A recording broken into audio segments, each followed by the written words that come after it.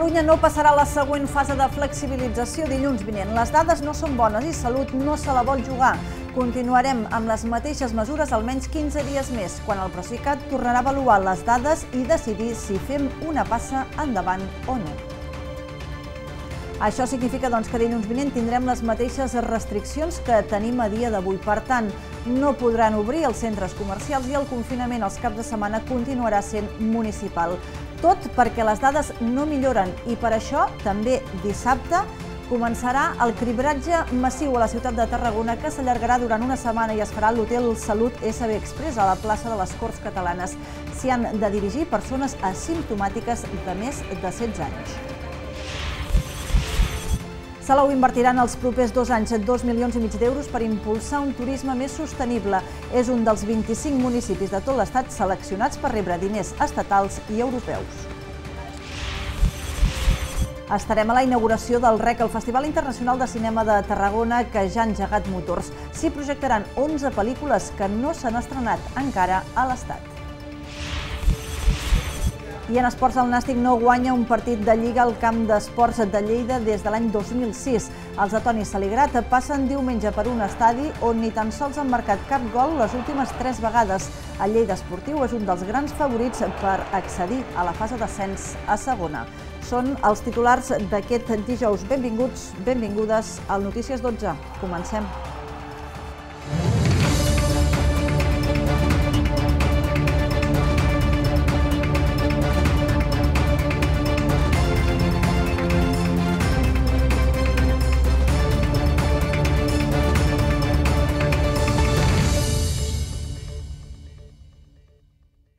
Catalunya es mantindrà en el tram 1.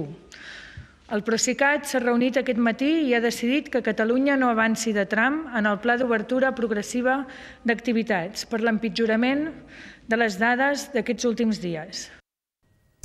Així de clar, ho ha anunciat la consellera de Salut, Alba Vergés. Catalunya es mantindrà al moment on estem com a mínim 15 dies més i dilluns no es passarà a la fase 2.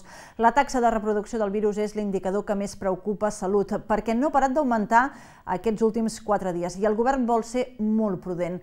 Per tant, dilluns no podran obrir centres comercials i es mantindrà el confinament municipal dels caps de setmana. Les xifres de la pandèmia s'han estabilitzat. Si la setmana passada les xifres baixaven diàriament a un ritme d'entre el 6 i 7%, dijous passat, quatre dies després de la reobertura, ho feien al 3% i els últims dies gairebé no hi ha baixada. De fet, la taxa de reproducció, la RT, ha empitjorat. Dilluns se situava al 0,78 i ara està a 0,92. Recordem que per sobre d'1 vol dir que una persona n'infecta a més d'una altra i la pandèmia es torna a descontrolar. Salut no s'ha s'esperava aquest augment tan ràpid i per això prefereix no avançar de fase, perquè la pressió hospitalària encara és molt elevada i les conseqüències serien molt greus. Des d'aquesta perspectiva és el que ens crida la prudència. És el que ens crida la prudència i veure, observar si realment aconseguim aquesta, diguéssim, aplanament i aconseguim aquesta estabilització de la R o bé si la R continua pujant. Aquesta és, bàsicament, el raonament que hi ha darrere, el raonament epidemiològic que tenim darrere per prendre tota aquesta decisió. Això vol dir que seguim amb les mesures de flexibilització permeses durant mínim 15 dies més. Amb la segona fase s'hagués acabat el confinament municipal dels caps de setmana que hagués passat a comarcal i algunes activitats haguessin pogut reobrir, com centres comercials. A més, també s'hagués permès més aforaments a l'interior dels restaurants, equipaments culturals i esportius. Amb aquest retras de les fases faltarà veure què passa per Nadal. El 21 de desembre ja no s'entrarà en la tercera fase i, per tant, no hi haurà mobilitat lliure per tot el territori català els 7 dies de la setmana. Salut avisa que encara queden molts dies per les festes i que segurament el que valdrà serà el pla de Nadal que hi va presentar. D'aquí a Nadal queden dies, queden dies, tenim un pla de cara a Nadal que dona les pautes de com podem viure aquest Nadal i amb quines restriccions eh, les hem, les hem d'organitzar i que cadascú es pugui organitzar aquest Nadal i anirem solucionant i posant solució a tots els temes que puguin sorgir d'aquí a Nadal també respecte a la mobilitat. Salut fa una crida a evitar al màxim les trobades socials i a reduir la mobilitat. També fa un toc d'alerta a administracions i diversos sectors per extremar totes les mesures per tal de poder reduir la pandèmia i seguir endavant amb el pla de desescalada. Per controlar la pandèmia i que no continua evolucionant, Salut també ha augmentat els cribratges massius. A la ciutat de Tarragona es començaran a fer aquest mateix dissabte. L'Hotel Salut, ubicat a l'Hotel SB Express, a tocar de l'Hospital Joan 23, és l'espai on es faran els cribratges massius a la ciutat de Tarragona.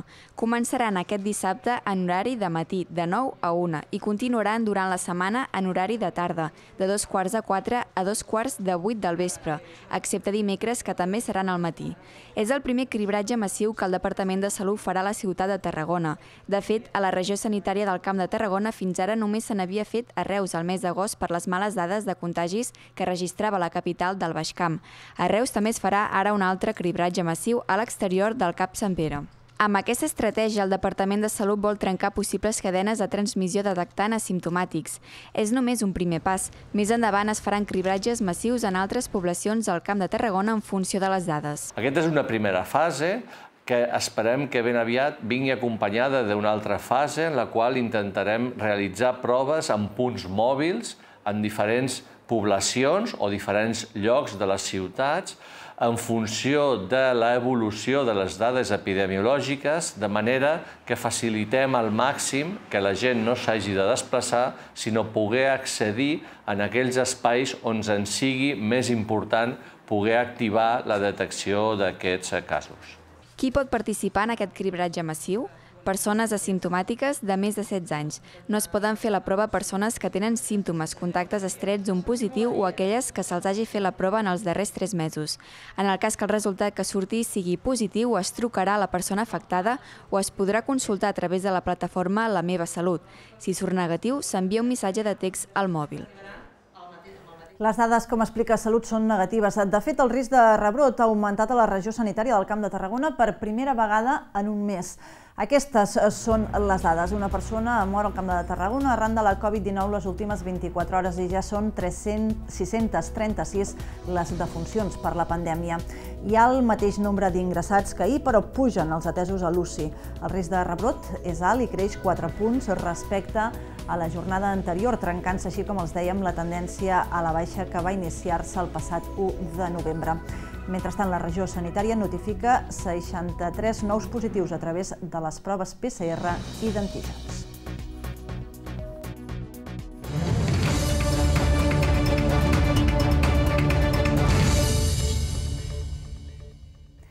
Salou és un dels 25 municipis eh, de l'Estat que ha estat seleccionat per desenvolupar accions de digitalització en l'àmbit turístic. Durant els pròxims dos anys s'invertiran més de 2 milions i mig d'euros en millorar serveis ja existents perquè siguin més sostenibles i també per fer un impuls en l'àmbit tecnològic per renovar aquesta destinació turística. Salou farà en els pròxims anys un salt qualitatiu en l'àmbit tecnològic i sostenible vinculat al turisme. La capital de la Costa Daurada, juntament amb l'empresa pública estatal Red Ponès, desenvoluparà el projecte Salou Smart Turístic, S'executaran quatre eixos destinats a la digitalització de serveis municipals, la implementació de noves tecnologies, el recull de dades dels visitants i millorar la sostenibilitat del municipi. Tot plegat té un pressupost de més de 2 milions i mig d'euros. El 30% està finançat per Salou i la resta per l'Estat i fons europeus. Aquest programa asseguren que representarà situar Salou com un destí turístic de més qualitat i d'última generació i també representarà una millora de la qualitat de vida dels seus residents. Que el que volem és que el turista s'integri i tingui una millor experiència en el nostre destí, amb la qual Salou es converteix en un destí encara molt més competitiu i amb un grau de satisfacció de la seva experiència a Salou molt més elevat. Però, evidentment, com tot això comporta un seguit d'accions de millora dels serveis públics que ve prestant l'Ajuntament de Salou, doncs, evidentment, també hi ha una millora important en la qualitat de vida del resident. Entre les actuacions destaca el canvi d'enllumenat de tot el passeig Jaume I, el canvi de sistema de rec del municipi per estalviar aigua, també s'instal·laran més de 20 punts de recàrrega de vehicles elèctrics. S'instal·laran lectors de matrícules a les entrades del municipi per conèixer els visitants i oferir-los una experiència més personalitzada.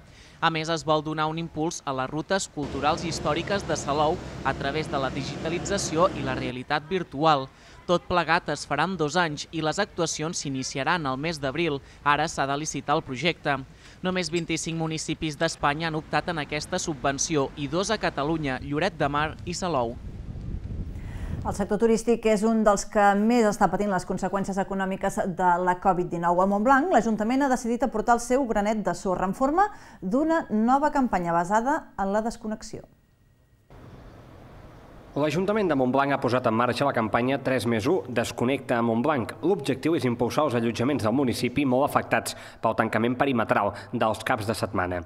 La campanya promou que els clients facin 4 nits a la vila i en paguin 3. Els establiments pretenen així potenciar l'estada a Montblanc els dies feiners de dilluns a dijous o de dijous a dilluns, quan el cap de setmana està afectat pel tancament perimetral. S'ha d'incentivar l'ocupació d'aquests allotjaments i fent-ho d'una manera que pugui cobrir eh, el cap de setmana i també els dies intersetmanals, eh, els feiners, que ara hi ha molt poca activitat. I la fórmula que, que hi hem trobat és intentar allargar el cap de setmana per una mica eh, poder captar l'interès de, de visitants que venen de més lluny de, del nostre entorn més immediat perquè al cap de setmana eh, no podrien bellugar-se. La campanya es durà a terme durant el mes de desembre. Al gener s'estudiarà la seva continuïtat o bé si se'n posa en marxa una altra. Els residents a Montblanc i la Conca, més, que descobreixin aquests establiments que tenen a tocar, tindran descomptes en futures estades. Al Camp de Tarragona sempre es parla del binomi de química i turisme, de fer compatible les dues activitats. La Universitat Rovira i Virgili ha exposat avui la necessitat de monitoritzar alguns dels components tòxics que tenen presència a l'atmosfera. Ho ha fet en el marc d'una jornada sobre la qualitat de l'aire a Tarragona impulsada per Repsol, en què també s'ha assegurat que, tot i la presència d'elements nocius, el seu percentatge està per sota dels límits establerts per la llei. El catedràtic de Química Analítica de la Universitat Rovira i Virgili, Francesc Borrull, ha advertit de la presència de 50 components tòxics per la salut, 16 dels quals amb característiques cancerígenes a l'aire del Camp de Tarragona. En el seu estudi, la URB identifica el benzè com un dels principals elements a tenir en compte, tot i que tots els indicadors situen la seva presència per sota els límits marcats per normativa. Igual passa amb el butadiè i la clilonitril al polígon nord i el butadiè i el dicloroetà al sud, tots ells components que la URB vol monitoritzar per fer un seguiment continu de la seva presència a l'aire. Per tant, monitoritzar en línia la presència dels compostos que tenen un pes específic més important en, en el tema de qualitat de l'aire d'aquí de la zona. Tot i que els principals arguments exposats a la jornada sobre la qualitat de l'aire a Tarragona organitzades des de l'Observatori que impulsa Repsol situen els índexs de presència dels components nocius per sota dels límits fixats per la normativa, des de Tarragona s'adverteix que no n'hi ha prou des del punt de vista municipal, no ens importa tant si es compleix o no la llei, ens importa molt si és saludable o no saludable l'aire. Aquest és el, el, després, la llei ja s'adaptarà si és que s'ha d'actualitzar, però nosaltres la nostra preocupació va vinculada amb la salut dels nostres ciutadans. En aquest sentit, des de la Generalitat s'ha assegurat que ja fa temps que es treballa en la prevenció de fent estudis que mesuren les partícules volàtils i que aquests indiquen que l'aire de Tarragona està bé. El que s'analitza i el que està fixat per normativa s'està analitzant i està dintre dels paràmetres correctes. I per l'altra banda, la preocupació que té la gent a nivell de salut, també per l'altra banda, el que, i això s'ha presentat a la taula, tots els estudis de salut que s'han fet en el Camp de Tarragona no eh, indiquen que hi hagi cap diferència significativa amb altres punts, per exemple, de, de, de Catalunya. Des de l'UPC, que també ha realitzat el seu propi estudi, s'ha advertit que, tot i que en si la qualitat de l'aire de Tarragona no és dolenta, sí que hi ha episodis puntuals en què es dispara la presència de components nocius. Per això aposta per una vigilància i monitorització activa i reclama que s'involucrin més municipis i administracions per augmentar els punts de mostreig. Actualment Eurecat compta uns 30 punts de mostreig, mentre Repsol també té sensors a les seves xamanelles.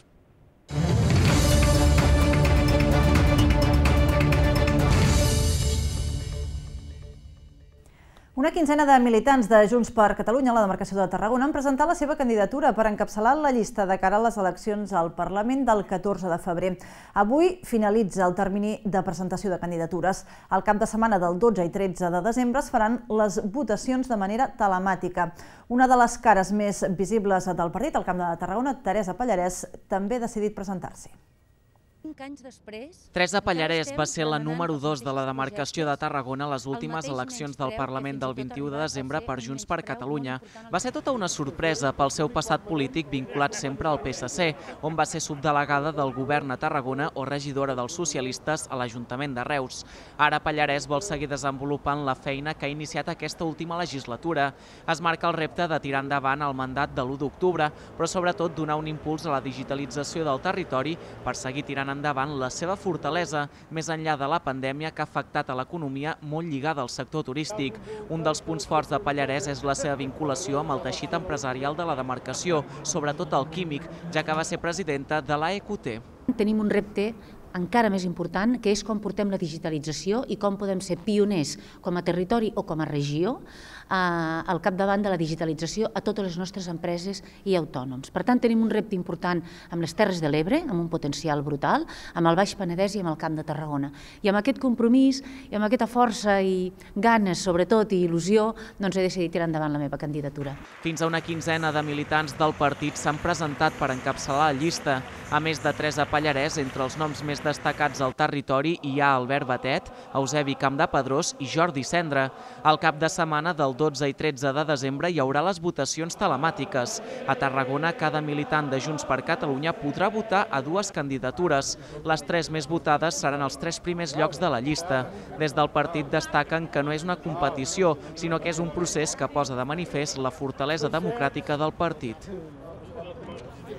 La portaveu de la CUP a Tarragona, Laia Estrada, ha decidit no compareixer davant la justícia per participar en les manifestacions